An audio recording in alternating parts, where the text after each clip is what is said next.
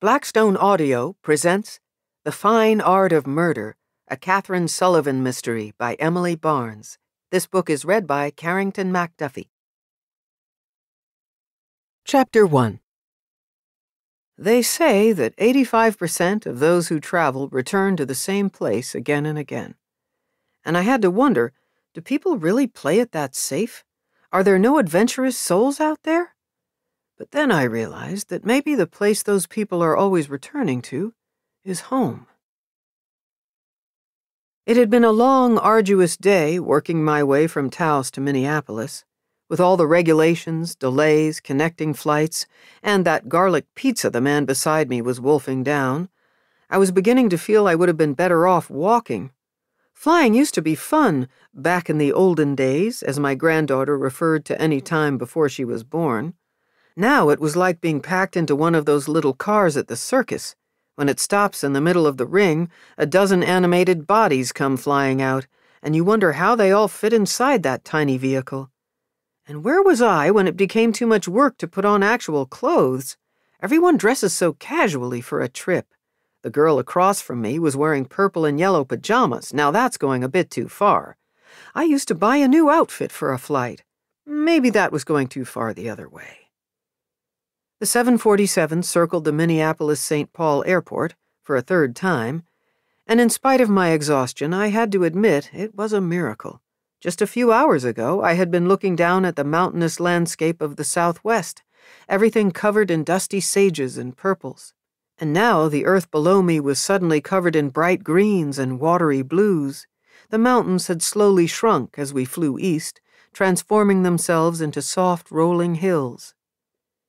It had been six months since I'd been home. Sully and I hadn't traveled much in our younger years. That was something for later, to be enjoyed after retirement. Each day's worth of mail always brought in two or three brochures featuring destinations we'd discuss. At the top of his list was Italy, Tuscany in particular.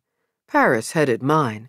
Even though he could have retired years before, my husband kept adding on another year in the police force, trying to up his pension so we could travel first class.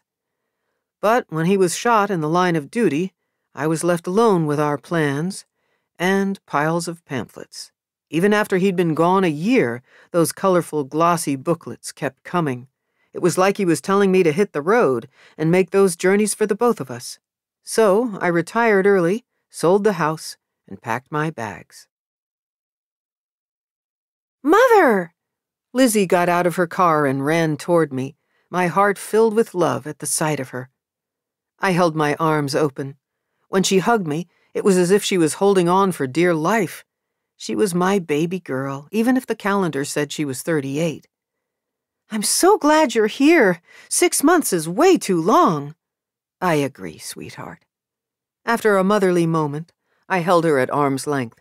Your hair's so much longer. It's not as severe? No, Lizzie, nothing about you has ever been severe. I was going to say mm, serious, which is a good thing when you're a pretty blonde. You don't want to be typecast, do you?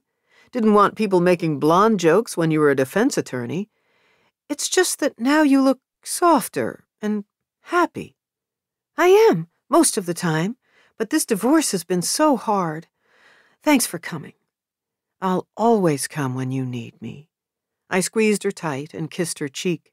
I had to keep a brave face in spite of the fact that I was concerned about the possibility of a custody battle.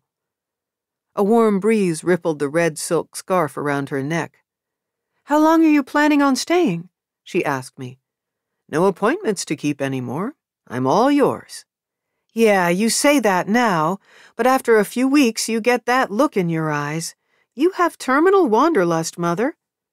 I never thought you noticed. An airport guard approached, waving his arms. Move on, ladies. Pick up and drive on. This is not a parking lot. He started to walk away, then stopped, spun around, and came back to us. Hey, Chief, is that you? I looked up at the tall man in the orange vest. Stanley Nelson. It's been a while. How are you? Great, Chief. I retired about a year after you did. Let the kids chase the bad guys for a while. My wife and I just celebrated our 35th anniversary. That's wonderful. Congratulations. We hope you enjoyed this preview. To continue listening to this audiobook on Google Play Books, use the link in the video description.